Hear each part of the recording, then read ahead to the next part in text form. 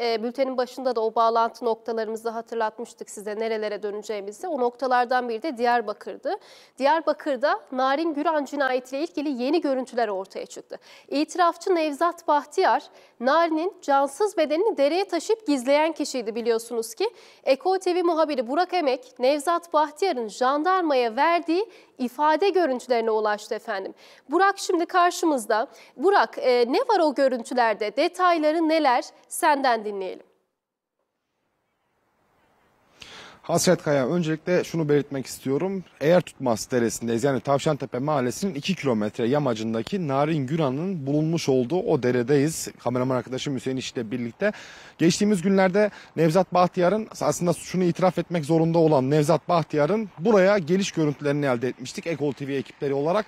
Ve bu noktada o gün o görüntüler bizi 21 Ağustos'a götürmüştü. Ancak bugün elde etmiş olduğumuz bu görüntüler de bizi 9 Eylül'e götürdü. Yani 8 Eylül'de zaten Nari'nin cansız bedeni bu noktada bulunmuştu. Nevzat Bahtiyar o gün gözaltına alınmıştı ve daha sonra iki günlük bir sorgulama işlemi yapılmıştı jandarmada e, ve çıkarıldığı mahkemede 6 saatlik ifadenin ardından tutuklanmıştı. E, Nevzat Bahtiyar da ikinci tutuklu olan kişiydi Narin Güran cinayetinde. Şimdi neler var aslında e, 8 Eylül'den 8 Eylül'de gözaltına alındıktan sonra jandarmada çapraz sorguya alınıyor Nevzat Bahtiyar ve kendisine ısrarla e, olayın nasıl olduğu yönünde sorular yöneltiliyor. 3 jandarma personeli çapraz sorguya aldı. Burada Nevzat Bahtiyar'ı ve jandarma ekipleri ısrarla vermiş olduğu cevaplara karşılık olarak yine o soruları kendisine yöneltiyor ki o noktada belki başka bir şey söyleyebilir veya bir pişmanlık veya başka olayın farklı detaylarını anlatabilir şeklindeydi. Bu sorgulama jandarma e, battaniye var mıydı sorusunu yöneltiyor kendisine.